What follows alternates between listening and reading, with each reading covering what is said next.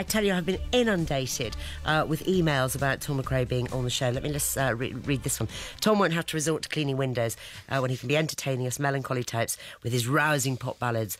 And uh, no, in all seriousness, I've been a fan of Tom's music for about eight years now. I saw him perform live in Los Angeles at the Hotel Cafe and was swept away with how the songs were even better live. Here's rapport with uh, Ollie, the witty lyrics and the sharp and only slightly drunk stage banter. Well, I loved every moment of it. And a really memorable moment was seeing him play at Shepherd's Bush a few years later. Now I'm a long way from home teaching English in South Korea, and I still turn to Tom's music. It brings back fond memories of those gigs, the anticipation of hearing really good music live, and just getting lost in the fe- feeling that I was privy to a secret that no one else knew. Of course, the secret's been out for a while, and I wish Tom the best of luck for the live appearance on your show. And that's from Saffron Chan. Yeah, Isn't that wonderful? That is that. I owe her money for that. yeah. We've had loads of support for you, and it's great to see you again. We were trying to work because saw you at Guildfest. You got a huge tour bus, Yes. in a beanie hat, Yes. Because I remember thinking, who's this arriving in this very very big tour bus? Um, and you did something for me then, but you also uh, did a session for us as well when we were up in Birmingham, and you came out for Ian Will's session. Ian Wills. Yes, it's been sort of two, Yeah. three times over the years. Yeah, Yeah, yeah, absolutely. So how are you keeping? Yeah, good. Thank you. Good. You've yeah. been travelling here, there, and everywhere. Yeah, um, off playing, um, touring a lot as always, and uh, just kind of coming to the end of a, of a year of touring this this last record. So where did your travels take you? We did um, went all over Europe twice, um, and I say all over Europe. It's all the, the cold countries because you know my music doesn't really work in the in the hot countries where people are happy. Um, so we don't get to go to Spain or Italy or Greece. Um, it's all Northern European high suicide rate territory. So. Do you like travelling? I do, yeah. I mean, you, you have to find a way of, of doing it and have an accommodation with, with the continual process of it. But I do, I've found that I do really like it and it does kind of keep you inspired as well. So, you know, Where's a favourite place for songwriting, or can it be absolutely anywhere? it can be anywhere. I mean, as I get on, I find that I need a little bit of time and space just to kind of let the adrenaline dissipate from touring and playing Mm. live. But, um, it, it literally anywhere where I can get a bit of headroom and, and you know uh, make a noise without disturbing other people because that's quite important. you know. So for Alphabet of Hurricanes, where did you? Well, that was that? yeah, that was written um, quite a lot on the road, um, and I was I was I, sort of homeless and um, dividing my time between uh, L.A., New York, London, and I was staying in a few apartments here and there, and just every sort of couple of weeks I'd, I'd hole up somewhere and and try and write and see over the process of a couple of years if I could come out with an album that made sense, even if it wasn't just one place, you know. So. And what was all this? Because I remember reading about you um, buying all manner of instruments on eBay. I know, isn't that? I, this is this gets asked of me a little bit because it was one thing got put on my bio that anyone could find interesting about me is he bought stuff on eBay, you know, and who doesn't? Um, I did. I mean, I literally, I, I was. But was it, ju- you know, the way you lock yourself into something sometimes and you become addicted to a certain site or whatever? Is that what you Still did? am, yeah, yeah, and and you know, I, my phone goes off every day with fifteen things saying you need to bid on this, you know, accordion that will never work, this guitar that will never go in tune, and all these things. I end up with tons of junk, but I, I, I like that, you know. I'm, But you get excited when the, when it's delivered. I do, Yeah. yeah, yeah, and and spend an hour figuring out that I can't play it, and don't have the patience to ever learn. But is Um, there, there must be one thing that you bought that you think, oh, so glad I put a bid in for that. I have a fantastic violin from China, um, which uh, it, I can't properly play. I tune it. I play it by by twisting the tuning peg to modulate the note Uh-huh. up until the bridge flies out of the guitar and smashes something in the room in uh, the violin rather. So I, I, I, I'm into playing violin. I don't play it as well as Melissa. Melissa, well, Melissa Reiner is here and uh, Ollie Cunningham as well. So, what's the first tune going to be? Well, I'm just going to do this one on my own. Oh, right. Uh, it's called "Still Love You." I love this.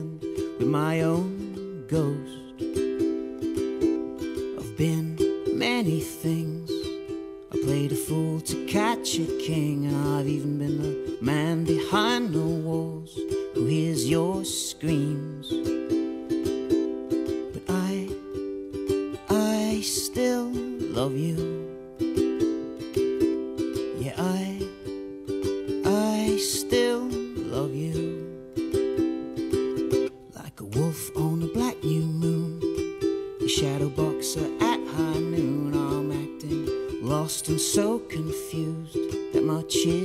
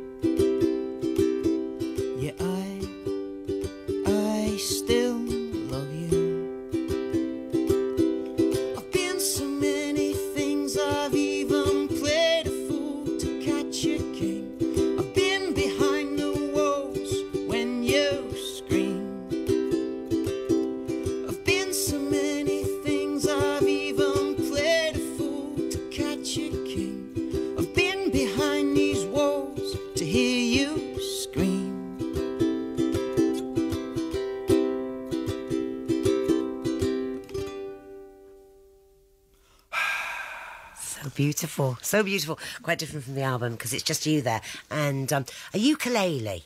And um, yes, I still love you. Ukuleles, they're going to introduce them into schools now, aren't they? Because they're so easy for kids to carry, they're cheap. So much cheaper than um, spending on a proper sports education. Yeah, that's that's great. They can, Well, there's no uh, sports. Yeah, that's they've not got rid to of that, and they've replaced it with ukulele. So we'll have loads of fat kids, but at least they'll be able to sing Play at the parties. ukulele. Yeah, fantastic. Um, now, I've got lots of questions um, that people have sent in, so I might as well um, try and do some of them. All right. So, uh, what about sharing a stage with Johnny Depp? Yes, um, I did. This is Andy Brown, who I think you might know actually. Uh, I, I, at my stage, I think I know everyone that's written in. Um, I uh, I did share a stage with Johnny Depp, but but uh, only a cardboard cutout because our cello player. Uh, his um, wife had given birth four days into the tour, so he had to go home, and we were looking for things to have on stage because we felt slightly unbalanced. And uh, Okay. Johnny Depp seemed to capture the spirit of uh, of the fantastic Ollie Kraus. Slightly dissolute, good-looking, charming, um, not really with it. So I love Johnny Depp, and in fact, I saw a trailer for him today. He's doing an, an action movie. How unusual. Yes, No, with um, Angelina. Uh, what's her name? Angelina Jolie. Jolie. Yeah, yeah. well, that's that's going to be a clash of genes. we um, And should apparently, Vanessa Paradis, I don't know how true this is because it was newspapers, but she wouldn't let him do um, a bed scene with Angelina. She was a bit scared that he might fancy her too much. I've already offered my services To Vanessa. I, am a body double for Johnny Depp. Oh, for so Johnny, they, can, yeah. they can shoot me from the back. I can be. Uh, Um, and uh, ca- post office cashiers. I've been asked to ask you about yeah, this is a, cashier number three. Yeah, it's exactly. It's a running gag I have that um, because uh, I'm running a boutique operation, uh, which is the polite way of saying v- quickly running out of cash. That uh, Is this I- your cottage industry where you make tea towels? And Absolutely, do tea towels and, and aprons, and, and I send off all the merchandise, and I cycle to the post office, and it's just kind of fun. You can either look at those things as as testament to the fact that you're not really quite as famous as you want to be, Or you or think should it's a be la- or think it's a laugh, or just think it's fun, and just think and be, be grateful that people are still buying into this and still helping. And and part of the, the gag at the post office is everyone's so annoyed with me because I have so much stuff stuff. that I just end up singing songs and kind of you know singing popular hits of the day. Have you not thought that when you're in the queue at the post office Hmm. and you know they're doing cashier number nine and you're standing there and you're bored and you wished you'd take taken a pat lunch because the Hmm. queue is that long, you know that screen that they have above. Now somebody told me that you can actually book yourself on there quite cheaply, and I keep thinking it'd be quite quite good to do a little. Well, you could do a Can gig, you? couldn't you? I could. And you could actually watch yourself in the post office. And that, that the demographic people collecting their pension, that's about right for me now. I think that's, that's people who started out 10 years ago listening.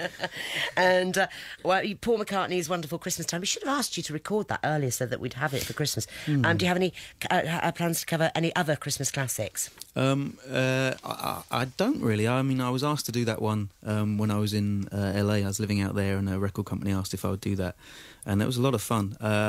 I, I tend to stick to my own songs simply because if you write them yourself, no one's got a clue if you're getting them really wrong. Yes, it's true, So if you it? do other people's, they go, "Oh, shouldn't Nobody sound can like argue that." with yeah, no, you know, change the I, words. I wrote it. It's Yeah, my choice. It's know. mine. I'll do as I want. Um, you, I did this many years ago. I went to a prison. Um, and I went with the Lotus Eaters. That's how long Oh, ago. yeah. But we went into Maidstone prison Mm-hmm. to do a gig. It was the first time anybody gone into a prison to, to perform, and it was an incredible experience. But you went and did something else, didn't you? Yeah, I, I went up to, to Yorkshire to. It's actually a, a, a prison for sort of young offenders, Uh-huh. um, and uh, it was kind of offered to me by uh, someone who was a fan, but they were also involved with the the Billy Bragg thing of getting guitars sent into prison so Yeah. that the, the people had something to do, and it was sort of part of a rehabilitation scheme and just you know some occupa- occupational therapy and uh, I went there because I, you know, I thought it's a great thing to do. I'll, I'll just go and see what the experience is like, and found that it was one of the best things I've ever done. That the response and working with the kids who, I mean, they were kids. They're they're up to eighteen there, Yeah.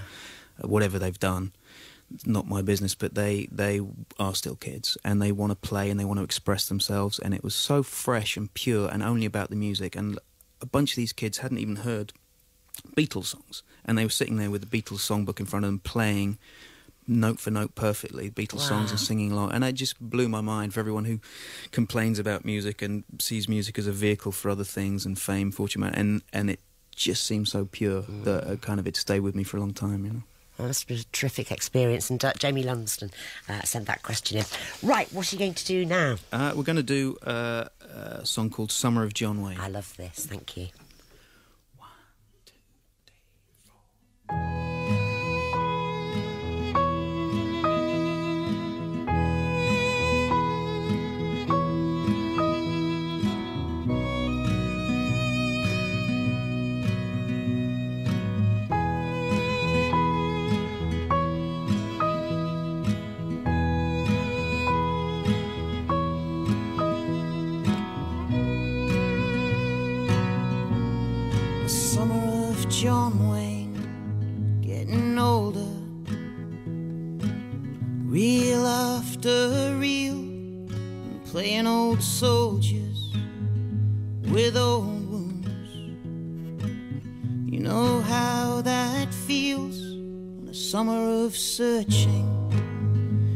the underworld.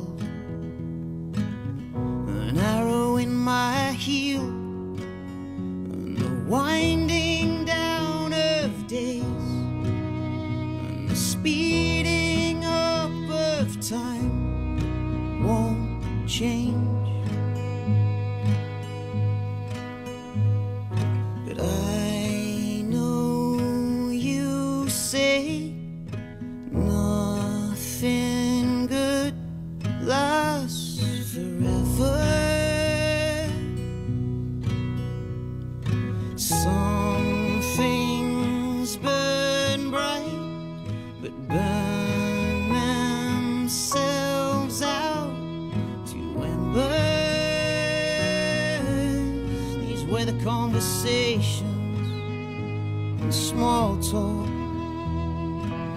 Steal my hours away, and I gave away my best to strangers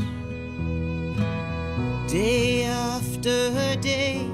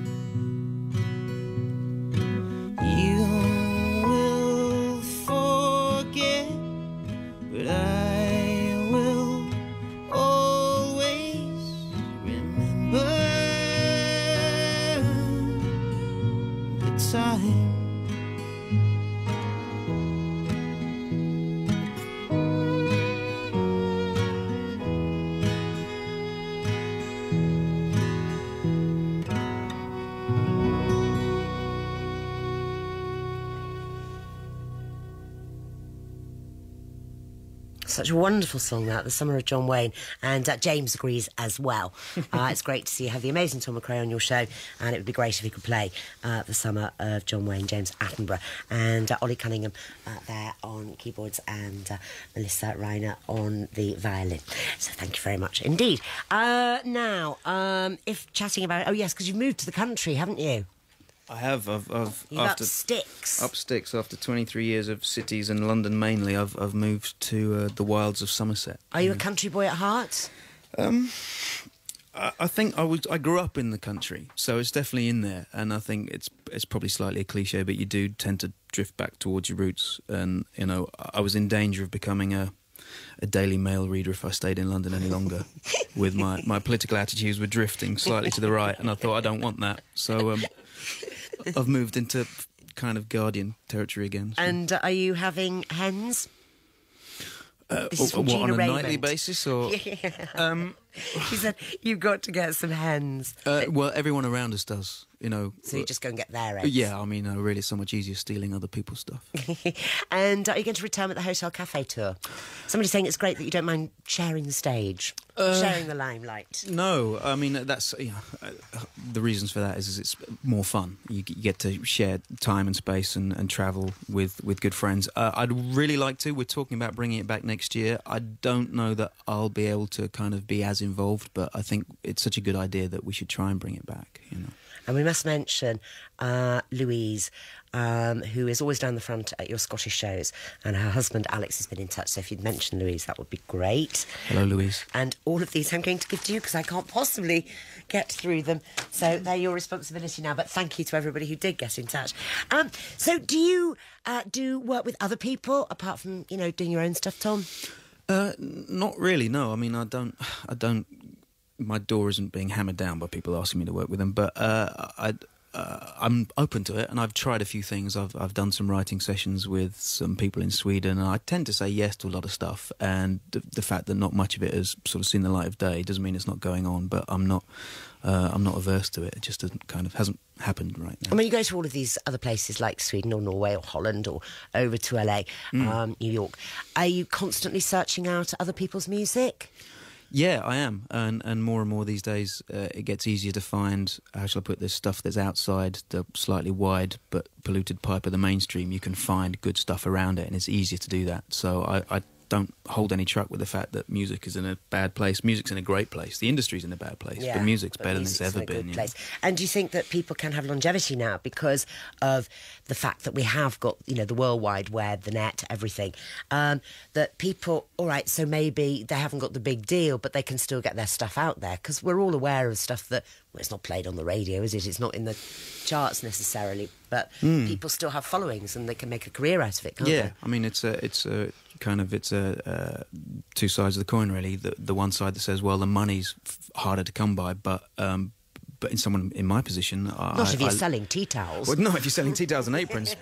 but that's what people tend to complain about, and you know, Metallicas of this world complain about that. But for me, if it wasn't for the fact that I could reach people through the so- social media, that um, I wouldn't have the marketing budget and don't. To, to be able to reach people, and, and yet I can find where they are now. I can winkle them out of their of their holes, and, and for me, it's it's a complete bonus. So I, I'm kind of glad that the the way it's gone. It's helping artists like me kind of find an audience. Really. But I always think you should be much bigger than you are. And I mean, you were Mercury nominated, weren't you? Um, and, yeah, and Brit nominated. and Brit nominated. And, I, you know, I really, really do. Why is it that some people are, you know, some people just get that push and that constant push and others don't? It's so frustrating. It is, but I mean, it's always been that way, and who knows why some things succeed. You could, the, the lazy answer is if you throw a lot of money over a lot of time at something, it, it has a better chance. But even then, you know, there's no guarantee. Some things connect, some don't. Some work quickly, some take a, a lifetime, and uh, you know, you don't ever get to choose that. You just go, well, if if it's what I love doing, then you you plow on, and at some point hope that your luck and your energy coincide. But you know, I've been doing this for enough time now to not really kind of dwell too much on that. You know, And uh, when will there be a follow up to the alphabet of hurricanes? I'm giving up music now. I'm No, you're quitting. not. Yeah, I He's going to work in the post office. Yeah, I am. Yeah. um, you could have a little mobile one in the country. well, I think so. Yeah, we have a mobile library that comes to, uh, and I was thinking, well, maybe I should hire that and go around the country doing gigs in the back of the you mobile could. library. Yeah. You could. Everyone, shh. People Who has doing, been yeah. doing gigs in libraries recently? There's been a thing, hasn't there, about gigs in libraries? So. Yeah, which is, which is a really good idea because obviously so. they're in danger as well. So we need to kind of Yes. find ways to, to get people into libraries and support those. So. And also different spaces for venues. There are lots of pop-up venues now. Yeah. Which is such a good idea. And there's something round here, and I can't can't remember where it is exactly. But people are doing gigs in a laundrette. Yeah. When it closes, Yeah. then they turn it into a venue. Yeah. Which is and, great. uh, there's a living room tour in the states where you can go and play literally people's living rooms, and you can do it from state to state. Um, Yeah. and and uh, you know it's it is going back to its roots. It's kind of it's it's charming. Really. I rather like that. Yeah. Mm.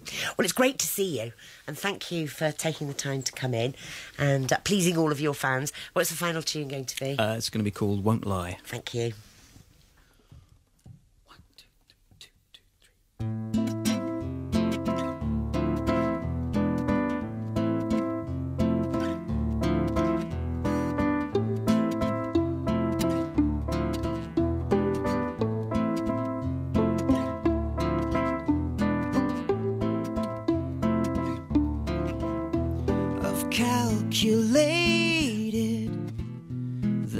Distance from my steady hand to your heart. And I hold the blade on my anger. Now I stand behind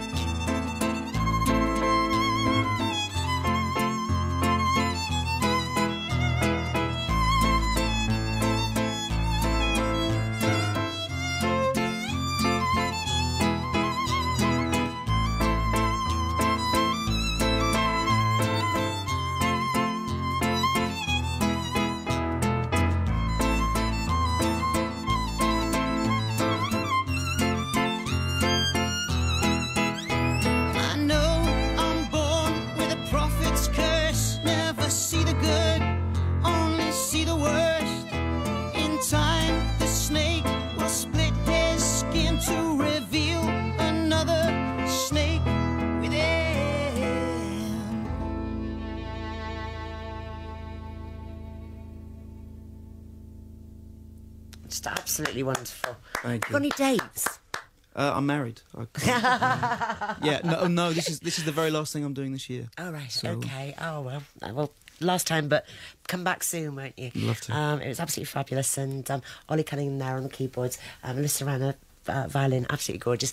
And um, well, Tom McRae, thank you very, very much indeed. Great to see you again.